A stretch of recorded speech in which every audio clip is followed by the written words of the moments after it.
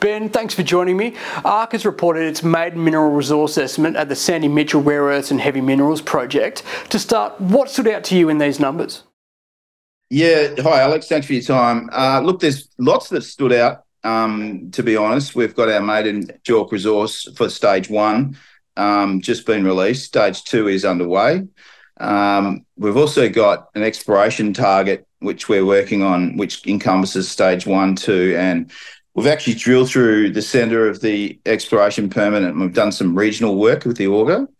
So the exploration target over the whole area is, is quite exciting as well, given what we've found from you know the stage one results that we're talking about today.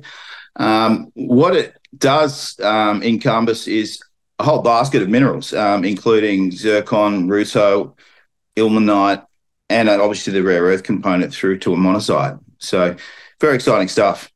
Thanks, Ben. Now, Sandy Mitchell is a placer deposit with minerals hosted in the sands. What are some of the attributes of placer deposits that make this MRE unique? Yeah, good question, Alex. Look, the um, the benefits of sand is it's um, it's a very simple process to recover.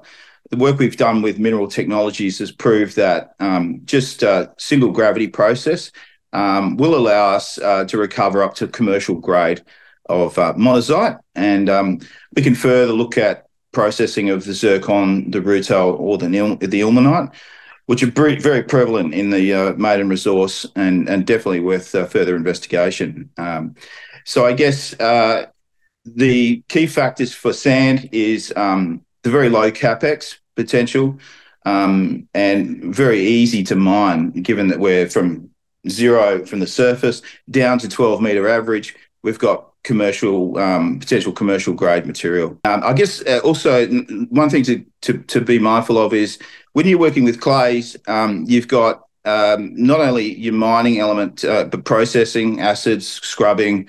Um, there's a lot of steps between feeding into a recoverable plant, and, and hard rock's the same. You know, you've got uh, complexities of, of, of energy, grinding, environmental uh, approvals, and it flows on from there.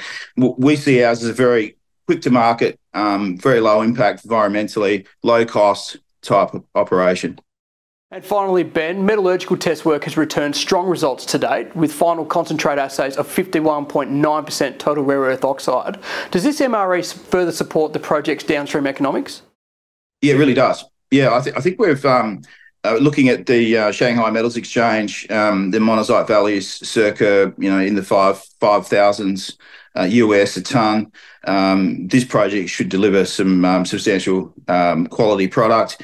It's proven with mineral technologies test work we, are at, at that level. And uh, look, I think our average monazite equivalent grades, you know, 1419 parts per million from surface down to 12 meters um, yeah, we're really confident that we can uh, deliver our pre-feasibility this year in 2024, um, and uh, that should deliver us a um, commercial project in the coming uh, you know two years. Fantastic. Look, thanks, Ben. Congratulations on your maiden mineral resource estimate, and all the best for your future plans at Sandy Mitchell. Thanks very much, Alex. Appreciate it.